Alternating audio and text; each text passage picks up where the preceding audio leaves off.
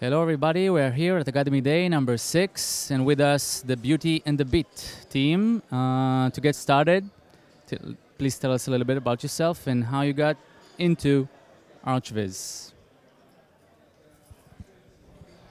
Hi guys, uh, this is Victor and Eva from Beauty and the Bit, and well, how we started this, uh, it was like a moment in my life in which um, I, am an architect, and uh, eventually in Spain everything broke up. So I was being like uh, working in my regular studio as an architect, doing projects, and uh, but everything broke up. So it was like kind of a get fired and started to working with my ex-boss in just one um, one kind of one-man studio, which was me, uh, doing some kind sorry some kind of uh, competition, architectural competitions, and the thing it was like um, it served me it me as like kind of a test tube, you know, for this kind of ArchViz uh, field, which I was really interested in. So the thing it was like. Um, finally I got fired for, for that work in the end. And it was like uh, one month uh, before uh, having my first and only kid for the moment. So I, I, thought that I, I should do or I should try like with that because I enjoy that and it reminded me a lot of when, when I was like a kid and was painting. It was some kind of completely free creation and uh, that's why uh, I started this and eventually came to what it is nowadays. So um, I think, uh, well, uh, he kind of seduced me because I, I was an architect also doing regular architect uh, projects and so. Um, when Victor rise up this, uh, he started teaching me things, so he totally seduced me. I think it's a much more creative way of uh, earning your living.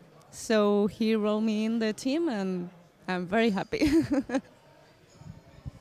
So it's a kind of a small team, kind of like a family, family business almost.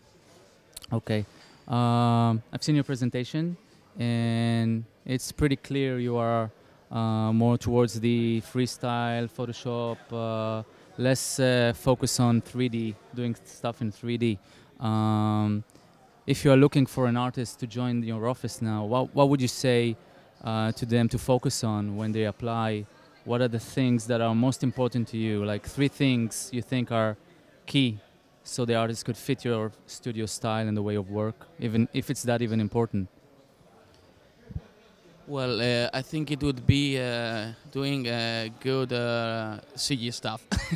No i mean it's not that we don't uh, think doing uh, good cg or, or doing that is bad. No no. I mean we try each day to work in the time we we have uh, for the for the competitions to do the best possible CG image because obviously if you have like a good base image for doing your magic afterwards obviously it will it would work it will work pretty much better. So uh, each and each time we try to improve our skills in that in that way in that direction. So what we would ask, uh, you know, a, a, new guy coming to the studio would be the first thing to use their brain. I mean, it's like uh, it's not a matter of technical, sometimes uh, technical ability, but to have like a trained eye for for storytelling, for for showing something relevant in an image. So it's like uh, obviously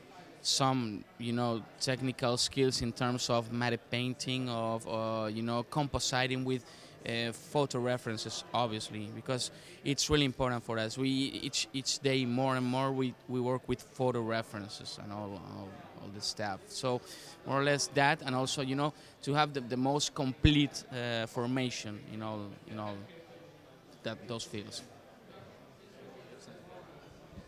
Uh, he or she uh, has to be multitask because for us it's very important to work as a team and that everybody can help you in a moment. So it's it's mm, nice to have a multitask people in the team.